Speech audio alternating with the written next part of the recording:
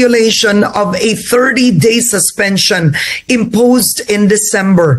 The NTC also said SMNI has not complied with an order to explain why it should not be sanctioned for its alleged franchise violations.